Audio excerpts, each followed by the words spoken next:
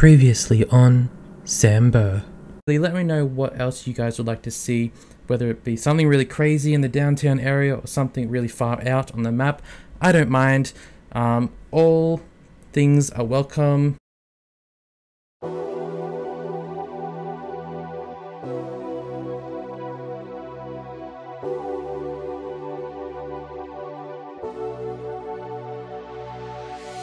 Hello everyone, welcome back to my channel. So today we are filling in this little lovely spot right here. So let's get straight into it. So what I just put down there is actually a stairway tunnel.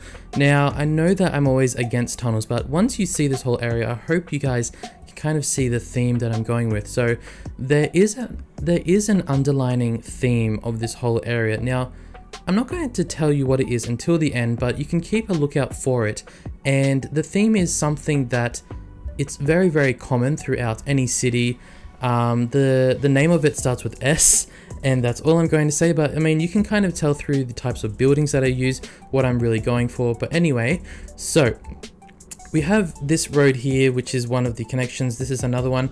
Now, I had to do some kind of design that made it so it wasn't particularly of high interest for cars to go through because I don't want all of the traffic to go through this little back street. I want all of the cars to go down through the roundabout area on the main road. So eventually I design it in a way with a really, really low speed, which is not appealing to them at all.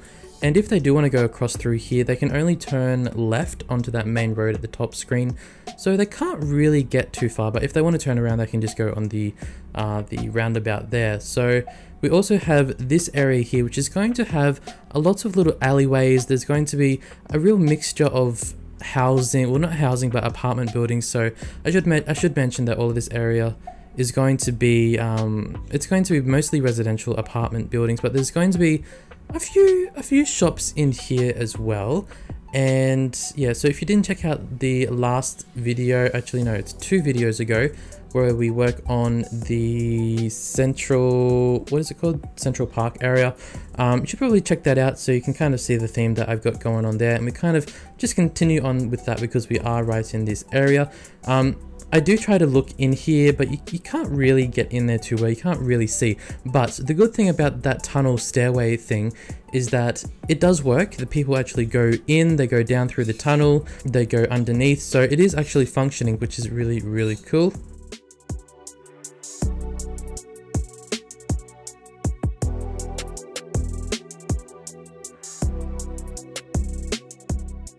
So these buildings that I'm putting down now are actually from, they're based in Hong Kong. So that if you want to go find them, they're the Hong Kong style buildings. But I thought putting in a bunch of them does kind of fit in with the Russian, Russian-y vibe that I've got going. And I've also, I've also put in some very hardcore Russian style buildings like these ones right here, just to give it that depth instead of just doing high-rise building. So I want to do a bit of high, a bit of low, just mix it up a little bit.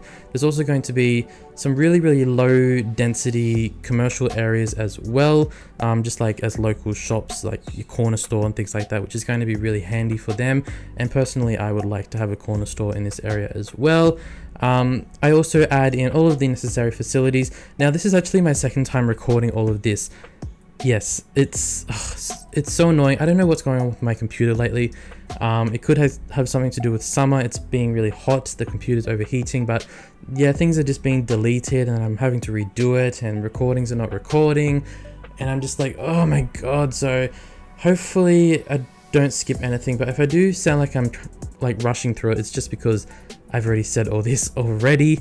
Um, so there is the train line that goes directly through this the whole area, but based on the type of area that it is, I think it is it's okay.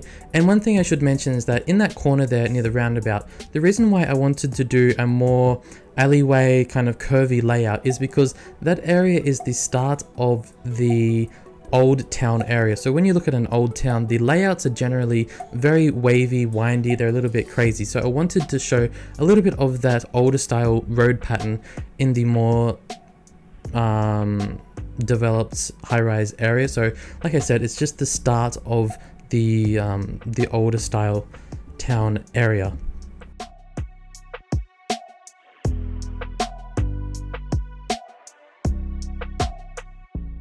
So in terms of like the shape of these two areas, the aim is to basically put in a park in the middle. So all of the larger buildings kind of, they either look over the highway or they look over uh, main roads or they look over the park which is going to be in the middle. But the parks they're not going to be as big as this whole block so there's going to be different things within the block. Some of the blocks have different buildings. There's going to be some little park areas as well. But that's just the theme just to basically open up the whole area. And um, yeah I think I think in the end it looks pretty good. It looks pretty useful as well.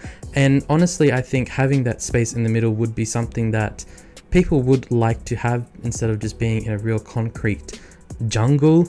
So yeah, and where, where I'm doing these um, tree boulevard boulevard roads that is basically symbolizing hey this is where the park area goes. And you'll notice that the park continues directly onto the stairway.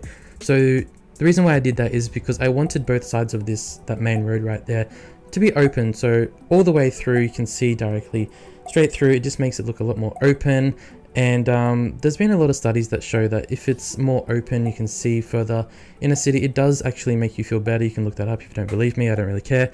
But there, it, it is it has been proven that this type of design is quite beneficial.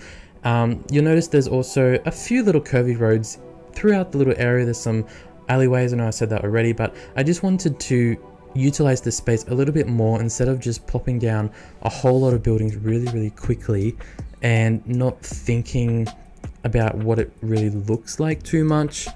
So, and you can see that I'm really go like going through the buildings, like finding what type of building do I want, um, like commercial, residential. I don't think I put any office or industrial. So it's it's really a um, a living space.